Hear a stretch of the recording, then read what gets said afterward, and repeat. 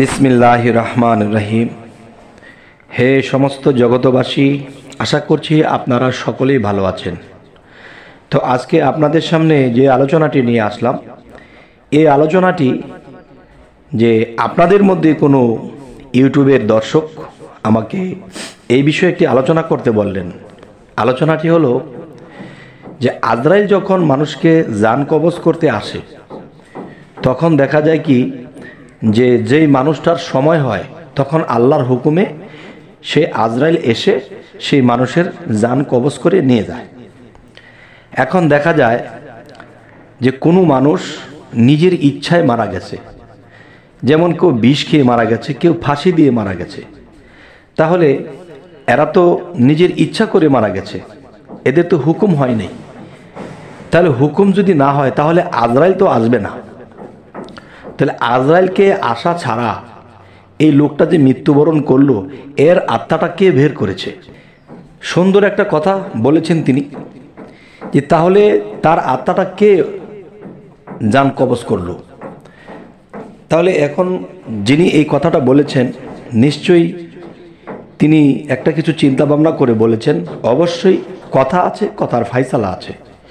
দেখেন, একদিকে আমি আপনাকে বলব যে বীজ যে একটা জিনিস আছে, যদি মাটির মধ্যে এটাকে পুঁতে রাখা হয় বা এমনিও পড়ে থাকে, সে কিন্তু গজে যায়, সে কিন্তু চারা হয়ে যায়, গাছ হয়ে যায়।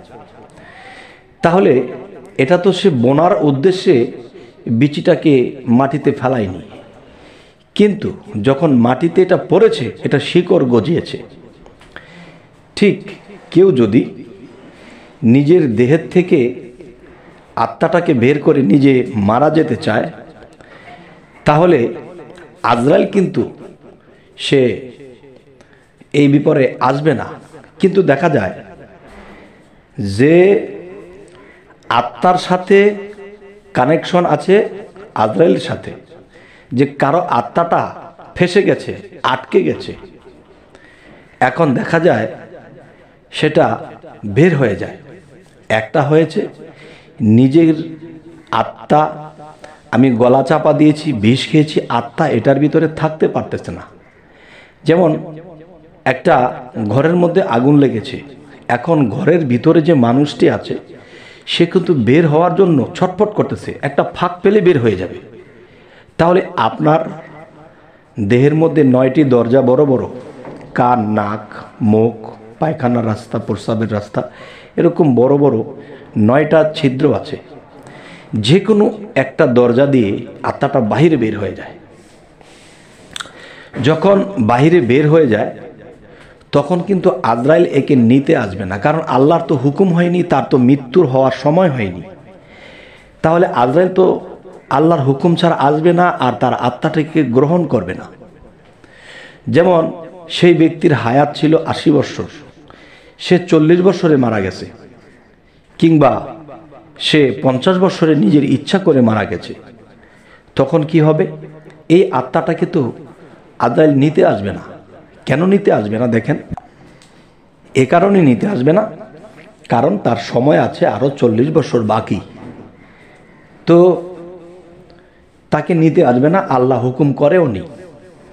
তখন এই আত্মাটা বের হওয়ার পরে এই আত্মাটা দেখা গেছে দুনিয়ার সমস্ত কিছুই দেখতে পাচ্ছে, কিন্তু এই আত্মাটাকে কেউ দেখতে পাচ্ছে না। তখন এই আত্মাটা সে মাটি, মাটিতে স্থান পাচ্ছে না, সে আকাশেও স্থান পাচ্ছে না। তখন সে বায়ুর সাথে ভ্রমণ করে। আচ্ছা বায়ুর সাথে যখন ভ্রমণ করে, তখন এই আত্মাটা বায়ুর সাথে ভ্রমণ করতে করতে সে ক্লান্ত হয়ে পড়ে। সে তখন মাটিতে স্থান পায় না আকাশে স্থান পায় না এই মধ্যবর্তী সে, তার যে কত যন্ত্রণা। তখন সে চায় কোনো দেহের মধ্যে বার বহন করতে। তখন দেখা যায়, দেখবেন, মানুষে বলে, কখনো কখনো কারও জিনে ধরেছে বা তাকে ভূতে ধরেছে।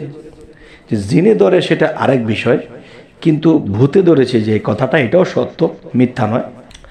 কারণ সেই আত্মাটা বায়ু ভ্রমণ করতে করতে করতে করতে সে যখন আর সইতে পারে না, কষ্ট, তখন কি করে? সে কোনো মানুষের উপরে ভর করে।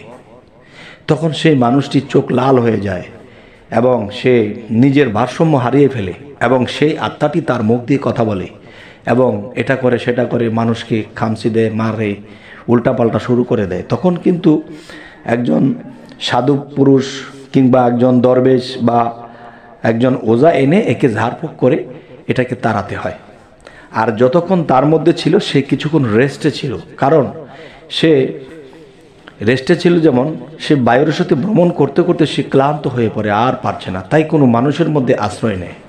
তো এরকমভাবে এই মানুষটি আত্মারূপে সে আশি বছর হায়াত ছিল, সে চল্লিশ বছরে মারা গেছে। আরও চল্লিশ বছর তার এই কষ্ট সইতে হবে। কারণ তার সময় না হওয়া পর্যন্ত তাকে আদ্রাইল নেবে না, গ্রহণ করবে না।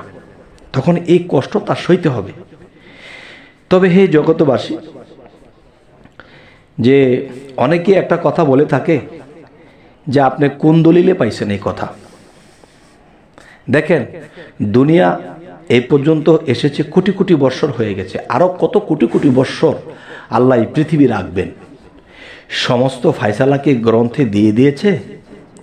কিছু বিষয় কি যারা আল্লাহর সাথে হট কানেকশন করেছে, সে হট কানেকশন থেকেও আল্লাহ, আল্লাহর তরফ হইতে কিছু নতুন কিছু জানতে পারে। তবে আমাকে কেউ বলতে পারেন, আপনার সাথে কি আল্লাহর হট কানেকশন হয়েছে? আপনি কি আল্লাহর কাছে জেনেছেন? আচ্ছা আমি তো জানার চেষ্টা করতেছি, কিন্তু যারা পেয়েছে, যেমন সাধু পুরুষের সাথে সঙ্গ করলে তারা দলিলের বাইরে কথা জানে। এবং যারা দেখা যায় যে যারা গুরু মুর্শিদের সঙ্গ দেয়, তারাও কিছু জানতে পারে কি? যে যাদের সাথে আল্লাহর হট কানেকশন ছিল, আল্লাহর থেকে সরাসরি জানতে পেরেছে, তারাও কিন্তু দেখা যায় যে দলিলের বাহিরে কথা জানতে পারে। তখন কি হয়?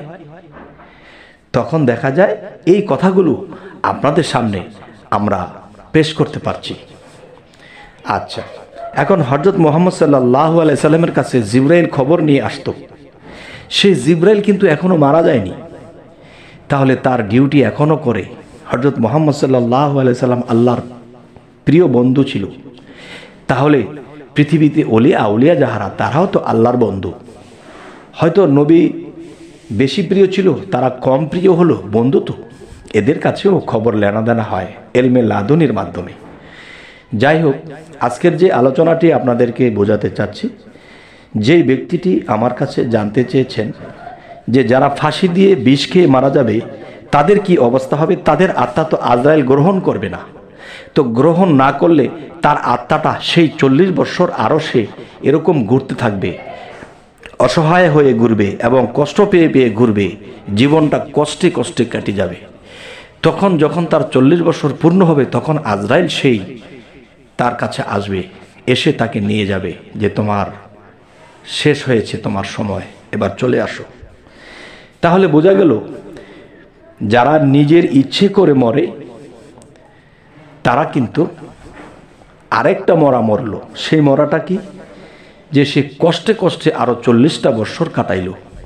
সে দেখতে পাচ্ছে আমার বাবা মা আছে, আমার সব কিছু আছে, কিন্তু তাকে কেউ দেখে না, তাকে কেউ চেনে না। তখন কি হয়? তখনই সে কষ্ট পেতে থাকে আর বলে, আমি কি ভুল করেছি? আমি যদি আরও চল্লিশ বছর থাকতাম মানব দেহ নিয়ে, তাহলে আল্লাহর কত কাজ করে আসতে পারতাম আর একা নিঃসঙ্গ হয়ে আমার জীবন কাটছে আর আমার কষ্টে কষ্টেই যাচ্ছে।